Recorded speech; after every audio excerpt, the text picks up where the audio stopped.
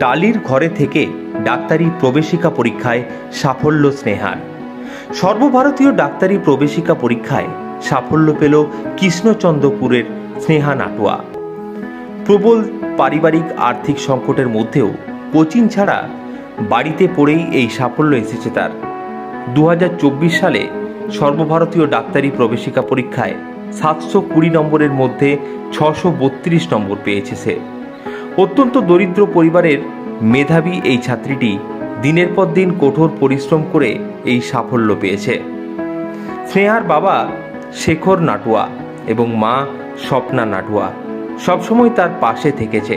স্নেহার পড়াশুনো চালিয়ে যাওয়ার জন্য স্থানীয় স্বেচ্ছাসেবী সংগঠন এবং বেশ কিছু ব্যক্তি সাহায্যের হাত বাড়িয়ে দিয়েছিলেন। ভালো পড়াশোনার পাশাপাশি নিয়মিত সংগীত চর্চা করে সে। ছোট থেকেই মেধাবী ছাত্রী ছিল স্নেহা। ছোট থেকেই স্বপ্ন দেখত ডাক্তার হওয়ার। সেই স্বপ্নে বাধা হয়ে দাঁড়ায় পারিবারিক আর্থিক পরিস্থিতি। সেই সব কাটিয়ে স্নেহা এখন ভালো রেজাল্ট করেছে, যার জন্য খুশি সকলেই।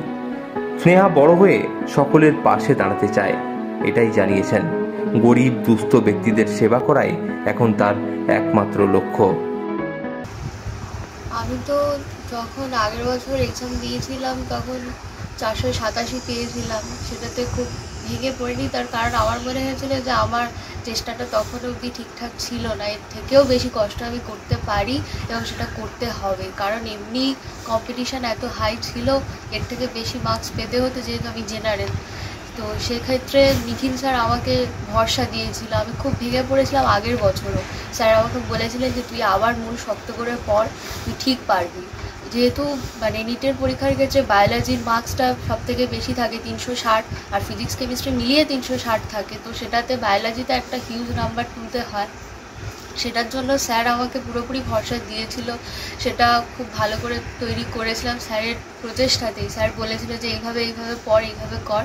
আর স্যার পিডাব্লিউতে ভর্তি হওয়ার জন্যও বলেছিল, সেজন্য হ্যাঁ একটা অনলাইন প্ল্যাটফর্ম ওখানে খুব কম টাকাতেই ওরা সারা বছরে ক্লাস করায় আমি আগের বছর ভর্তি হয়েছি। কোচিং সেন্টার নয়, ওটা মানে সারা বছরে চার হাজার ছশো টাকা এরকম নিয়ে ওরা পড়ায়। সমস্ত মানে যা কোয়েশ্চেন টোয়েশ্চেন করানো বা স্যারেরা ভিডিও লেকচার এরকমভাবে পড়ায়। তো আমার যেহেতু ফিজিক্স কেমিস্ট্রিটা একটু দুর্বল ছিল, সেজন্য ওই ফিজিক্সওয়ালা থেকে ওই ফিজিক্স কেমিস্ট্রিটা পড়েছিলাম। আর বায়োলজিটা বিশেষ করে আমার নিখিল স্যার, বাড়ির পাশেই স্যার আমাকে প্রচুর সাহায্য করেছিল। স্যার আমাকে মেন্টালি প্রচুর সাপোর্ট করতো যে, তুই পড় তুই পড়িস না। তো সেটা করেছিলাম। প্রায় স্যার বলতো যে চোদ্দ, সতেরো, পনেরো ঘণ্টা ধরে পড়তে হবে। পড়াশোনার সাথেই প্রায় সারাদিন যুক্ত থাকতে হবে অন্তত। যেদিন হয়তো খুব শরীর খারাপ লাগছে, সেদিন হয়তো অতটা করা সম্ভব হতো না। কিন্তু আমি সারা প্রায় চেষ্টা করতাম সবসময় যাতে পড়াশোনার ভিতরে থাকার বন্ধু বান্ধবদের মধ্যে ডিসকাস করতাম, পড়াশোনা নিয়ে যখন ভালো লাগতো না, একান্ত একার, নিজে নিজে পড়াশোনা করতে।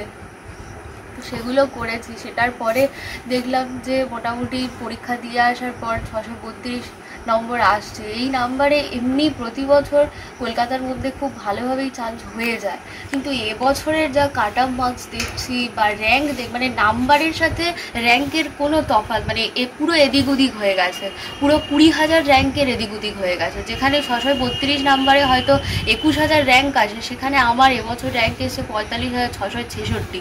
মানে প্রায় কুড়ি থেকে বাইশ, তেইশ হাজারের র্যাঙ্কের পুরো এদিক ওদিক নাম্বারের সাথে। যেটা একেবারেই মানে কখনো হয়নি, এই গত চার, পাঁচ, ছ বছরে এরকম তো কখনোই হয়নি। তো সেখান থেকে এবছরে যেটা প্রথমবারে পরীক্ষা দিয়ে এসে মার্কস ক্যালকুলেট করে যেটা দেখেছিলাম বা কিছুদিন আগে ওয়েমার্কশিট বেরিয়েছিল সেটা দেখে যা ভেবেছিলাম, আর এবারে যখন রেজাল্ট বেরোলো তার সাথে যখন র্যাঙ্কটা দিল, সেটার সাথে পুরো মানে ডিসম্যাচ হচ্ছে। তো সেখান থেকে মানে খুব কষ্ট হচ্ছে যে এত বছর কষ্ট করেছিলাম। আমার নাম স্নেহা নাটুয়া এই ধরনের গল্প আপনাদের সামনে তুলে ধরা আমাদের কর্তব্য। ভালো লাগলে আপনারা চ্যানেলটি ফলো করতে পারেন।